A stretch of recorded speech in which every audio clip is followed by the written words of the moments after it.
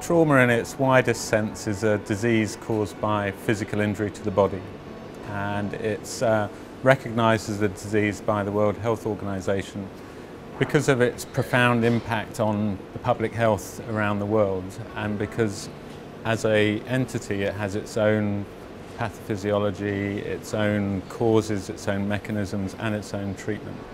Surviving is a challenge for trauma patients from the minute that they get injured, whether they're hit by a car or fall out of a window or get uh, injured by a knife. They're taken really to the limits of survival and modern medicine can keep them alive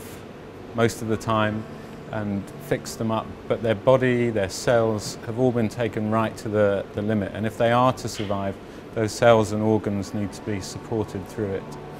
If they survive, their challenges then are in actually recovering, being rebuilt in normal form or as form as close to function as possible. And then their challenge is getting on with their lives and getting back to uh, some semblance of a normal life. Around the world, um, about six million people a year die due to injury and it's on the rise um, dramatically. It's the only disease whose mortality continues to rise. Every other disease around the world has been uh, you know, appropriately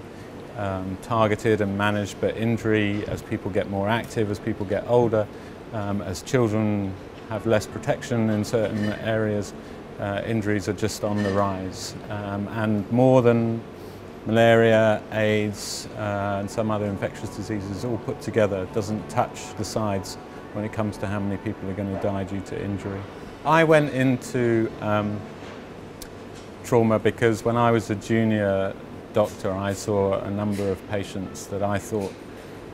could either have been treated better or really it was obvious that we really didn't know how to treat them and we didn't know what we were doing um, for them. I remember somebody who was injured in a bomb blast in Camden um, who, um, you know, the team looking after him were really just so shocked and uh, unsure of how to look after him that uh, they were just almost uh, frozen in, in action. And I was very junior and I myself didn't understand but I could tell that something was wrong and that essentially this was a population of people who were being um, potentially neglected um, by modern medicine. So we've had huge changes over the past um, decade, both in terms of how we manage patients, our understanding of the disease and therefore how we treat it, but also in terms of how we organise healthcare in order to make sure that patients who are injured get to the right hospital, the right specialists, the right resources uh, at the right time. Uh, and so alongside those changes has come a dramatic improvement in survival. Research remains important though because still if you're severely injured um, there's about a one in three chance that you're going to die.